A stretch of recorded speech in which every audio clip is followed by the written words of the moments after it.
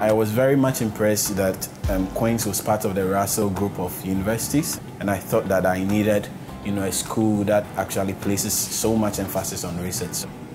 The advanced food safety course is quite um, multi-sectoral, so you get to um, cut across a lot of um, scientific areas. It covers a lot of you know areas under food fraud, food security, food safety, from farm to fork. Everything from the farm to the point where food is being eaten. Teaching and learning in Queen's was very high. You have about 12 different lecturers teaching one model. Every one of them is taking a specialist area.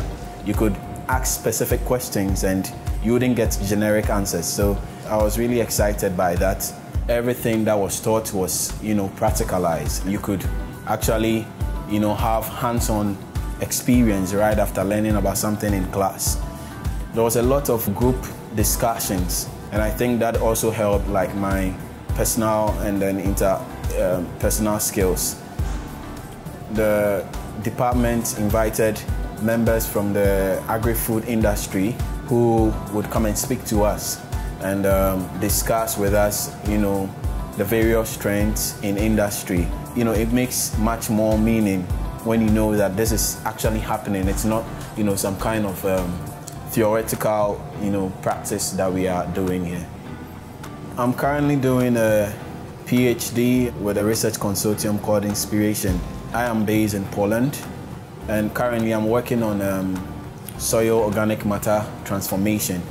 My PhD is a direct result of my master's project. Basically, I traveled to China to do um, a research on rice paddy soils. The opportunity to go there and experience, you know, on the ground how rice is grown, how it is cultivated, and also being able to integrate into the Chinese research team was quite enormous.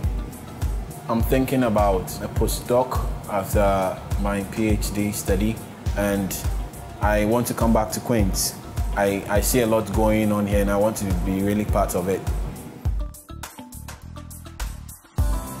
I think that Queen's is a very wonderful place for any budding scientist or researcher and I would recommend it certainly.